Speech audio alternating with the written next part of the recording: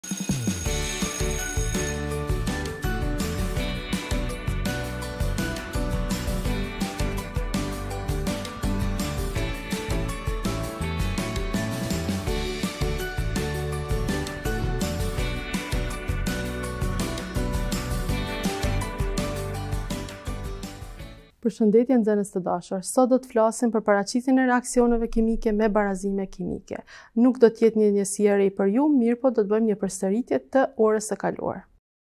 Pra siç thamë sot do të flasim për përfitimin e gazit klorhidrik dhe për përfitimin e ujit. Për shembull, gjatë reaksionit mes hidrogjenit dhe klorit, Kush fitohet?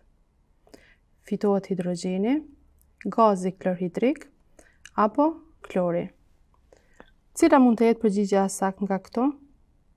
Pra, gjatë reaksionit mes hidrogjenit dhe klorit përfitohet gazi klorhidrik. Reaksionin e cekur më parë mund ta paraqesim edhe kështu. molekula e hidrogjenit, plus molekula e klorit, çka na jep, tashmë po besoj, që ju dini na jep molekulën e klorhidrikut.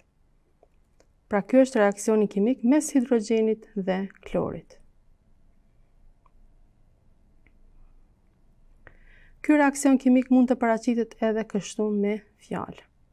Hidrogjen, plus klor, siç thamë na jep klorhidrikun. Reaksioni kimik mund të paraqitet edhe me simbole dhe formula kimike. H2 plus Cl2 që thamë na jep 2HCl.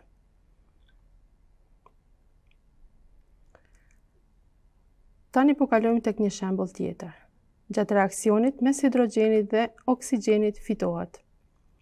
Kush po mendoni? Hidrogjeni, uji apo oksigjeni. Pra, gjatë reaksionit mes oksigjenit dhe hidrogjenit fitohet uji. Reaksionin e cekur më parë mund ta paraqesim edhe kështu. Dy molekula H2, pra molekula të hidrogjenit, plus një molekulë e oksigjenit, na jep dy molekula të ujit. Të njëjtin reaksion mund ta paraqesim edhe me fjalë.